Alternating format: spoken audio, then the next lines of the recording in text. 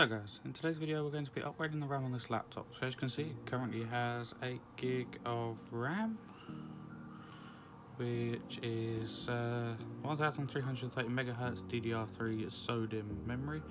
So we are going to upgrade it on this laptop. So here's the before of 8 gig. We'll get there. We're going to put the new RAM in, or extra RAM I should say, because this laptop's a bit different. And then we'll come back, make sure the new RAM's worked, and hopefully this teaches you guys something and how to upgrade your RAM in your laptop. So let's switch over to upgrading the laptop. Apologise, apologise if the audio is terrible. This is being filmed on an iPhone because I don't have a different camera to film this with. But in today's video we're going to do a simple RAM upgrade. So this laptop currently has 8 gig of RAM and we want to up it to 16 gig. So we have two 4 gig sticks. You might be asking why we two 4 it makes it again because this laptop is difficult. Right, first of all, let's get rid of this battery. Safety first. To pull this back across. Yeah, so this has only got 8 gigs in. As you can see, RAM slots are empty. This actually has 4 RAM slots, so if you unscrew this, flip it, it'll have 2 more RAM slots on the other side.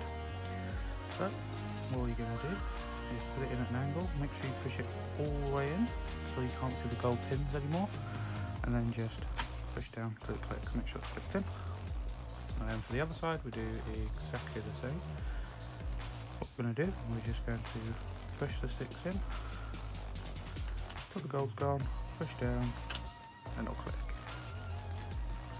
Very simple. So what we'll do is we'll put this back cover back on, lock that, put the battery back in, and now we'll move over to the PC. So guys, as you saw, we've just put the RAM in, so let's check to make sure that we now have 16 gig. So let's go to performance, let's bring this in, 16 gig of RAM, and it is still 1333 megahertz RAM. We now have four slots used instead of two, last time it was two out of 4, now we've got 4 out of 4 and we are at 16 gig of RAM. If you look at the top, 16 gig of RAM. So guys, I hope you found this video helpful at least. Um, I will put the make of laptop in the description and in the title so if you guys need to know what make it is, so if you've got the same one you know how to do it. But that's about it for me guys, hope you guys enjoyed, I'll catch you guys in the next one. Peace.